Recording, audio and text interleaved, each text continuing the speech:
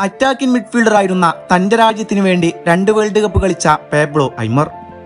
ഏറ്റവും മികച്ച സെൻട്രൽ ഡിഫൻഡറിൽ ഒരാളായ തന്റെ രാജ്യത്തിനു വേണ്ടി മൂന്ന് വേൾഡ് കപ്പ് കളിച്ച ക്യാപ്റ്റനും കൂടിയായിരുന്ന റോബർട്ടോ അയാള. സെൻട്രൽ ബാക്കും ഏറ്റവും കരുത്തനായ ഡിഫൻഡർ എന്ന് പലരും വിശേഷിപ്പിച്ചിരുന്ന തന്റെ രാജ്യത്തിനു വേണ്ടി രണ്ട് വേൾഡ് കപ്പ് കളിച്ച വാൾട്ടർ സാമുവൽ. ആദ്യം പറഞ്ഞ മൂന്ന് പേരുകാർ ഇന്ന് അർജന്റീനയുടെ അസിസ്റ്റന്റ് കോച്ചുമാരാണ്. അവരുടെ കാലത്തെ മികച്ച കളിക്കാരും. ആ കോച്ചിങ് ടീമിനറിയാം ഓരോ കളിക്ക് മുമ്പും എങ്ങനെ ടീം സെറ്റ് ചെയ്യണമെന്ന്. തന്റെ കയ്യിലേക്ക് കിട്ടിയപ്പോൾ ഒന്നുമല്ലാതായി കിടന്നിരുന്ന അർജന്റീനയുടെ കോച്ചായപ്പോൾ സ്കളോണി ആദ്യം ചെയ്തത് മെസ്സി ഉൾപ്പെടെ പലരും ബഹുമാനിക്കുന്ന പേബ്ലോയെ അസിസ്റ്റന്റ് കോച്ചാവാൻ സമ്മതിപ്പിക്കുകയാണ്. ലയണൽ മെസ്സി എന്ന ലോകം കണ്ട ഏറ്റവും ഭാവന സമ്പന്നനായ ഗ്രൗണ്ടിലെ ആർട്ടിസ്റ്റ്.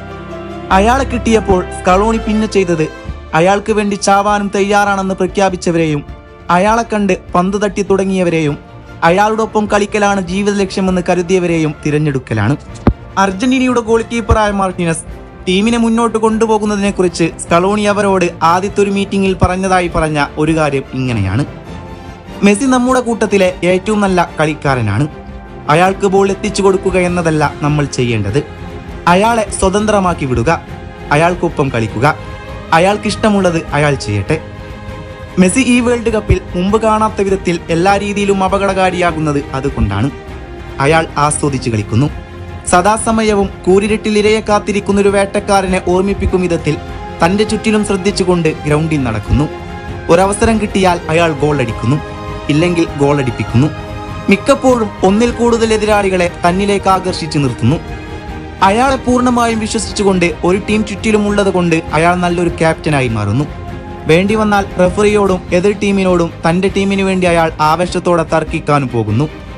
പൊതുവെ ശാന്തനായ മെസ്സിയിൽ നിന്നും തന്റെ അവസാന താണ്ഡവം ആസ്വദിച്ച് കളിക്കുന്ന വന്യതയിലേക്ക് അയാൾ പരിണാമപ്പെടുമ്പോൾ ഫുട്ബോളിനും അയാളെ സ്നേഹിക്കുന്നവർക്കും അത് നൽകുന്നത് ഒരു മനോഹരമായ വിരുന്നാണ്.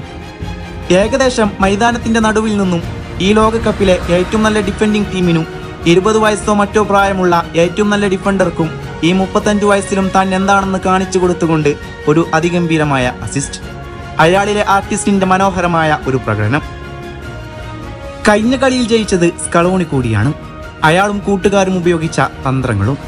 കളി കഴിഞ്ഞപ്പോൾ മിസ്സിസ് കളോണിയെ കെട്ടിപ്പിടിച്ചപ്പോൾ അയാളുടെ കണ്ണിൽ ഉരുണ്ടു കൂടിയ കണ്ണുനീരിലുണ്ട് എല്ലാം. കളിയാക്കുന്നവർക്ക് ഇന്നും പറയാം ഒരു വ്യക്തിഗതമായ പ്രകടനത്തിലാണ് സ്കളോണി ഇപ്പോഴും ഊന്നൽ കൊടുക്കുന്നതെന്ന്. പക്ഷേ അങ്ങനെയാണെങ്കിൽ തന്നെ അയാളെ അങ്ങനെ ചെയ്യിപ്പിക്കുന്ന രണ്ട് ഘടകങ്ങളുണ്ട്. ഒന്ന് ജീനിയസ് എന്ന് നിശ്ലേഷം വിശേഷിപ്പിക്കാനാവുന്ന ഏറ്റവും വലിയ മതിൽ കൊണ്ടുവന്ന് മുന്നിൽ വെച്ചാലും അതിലൊരു ചെറിയ പഴുത് കണ്ടെത്തി അതിലൂടെ പന്തിനെ ചലിപ്പിക്കാൻ കഴിവുള്ള ലോക ഫുട്ബോളിലെ ഒരു മഹാപ്രതിഭ എന്ന പടക്കുതിര. രണ്ട് ആ പ്രതിഭയിൽ വിശ്വസിക്കുന്ന ആ ചെറിയ മനുഷ്യന് വേണ്ടി ജീവൻ കൊടുക്കാൻ തയ്യാറായ ചെറുപ്പക്കാരുൾപ്പെടുന്ന മറ്റു പത്ത് പേരും അയാൾക്ക് ചുറ്റും ഗ്രൗണ്ടിൽ അയാളോടൊപ്പം ആവേശത്തോടെ പോരാടാനുണ്ടെന്ന സത്യവും. അതൊരു വല്ലാത്ത കൂടിച്ചേരലാണ്. ഈ രണ്ട് ഊർജത്തെയും തനിക്ക് വേണ്ട ദിശയിലേക്ക് തിരിച്ചുവിടുക എന്നതാണ് ഏറ്റവും നല്ല വഴി. അതയാൾ ഭംഗിയായി ചെയ്യുന്നുണ്ട്. അതുകൊണ്ട് തന്നെ പലപ്പോഴും അയാൾ പാടുന്നതായി തോന്നുന്നു. ഈശ്വരനല്ല മാന്ത്രികനല്ല. ഞാൻ പച്ചമണ്ണിൽ മനുഷ്യത്വമാണ് ഞാൻ. ദിഗ്വിജയത്തിനാൻ സ്വർഗശക്തിയാം ഇക്കുതിരയെ വിട്ടഴക്കുന്നു ഞാൻ. മിഷിഹ എന്ന വിളിപ്പേരുള്ള ആ കുതിരയിൽ നിന്നും വിശ്വസിക്കുന്ന അയാളുടെ ദേശക്കാർക്കും ലോകമെമ്പാടുമുള്ള ആരാധകർക്കും അതുകൊണ്ട് തന്നെ ഇതൊരു ഉത്സവമാണ്. അവരും ഉറക്കെ ചൊല്ലുന്നുണ്ടാവും. നിങ്ങൾ കണ്ടോ ശിരസുയർത്തിയപ്പോഴും എൻ കുതിരയെ ചെമ്പൻ കുതിരയെ. എന്തൊരുന്മേഷമാണതിൻ കൺകളി എന്തൊരുത്സാഹമാണതിൻ കൺകളി എത്ര കൊറ്റക്കുടകൾ യുഗങ്ങളിൽ കുത്തി നിർത്തിയ മുത്തണിക്കൂണുകൾ അക്കുളമ്പടിയേറ്റ് വീണുപോയി. ആഗ്രഹിക്കുന്നു.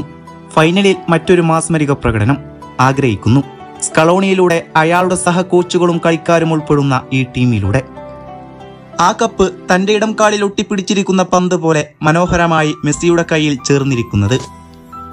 അൽ ഹിൽമി എന്നാണ് സെമിയിലും ഫൈനലിലും ഉപയോഗിക്കുന്ന പന്തിന്റെ പേര്. സ്വപ്നം എന്നാണ് അതിനർത്ഥം. അതുകൊണ്ട് തന്നെ ആ പന്തും അയാളെന്ന മാന്ത്രികനും വീണ്ടും ഫൈനലിൽ ഒരുമിക്കുമ്പോൾ ആ സ്വപ്നവും നടക്കുമായിരിക്കും.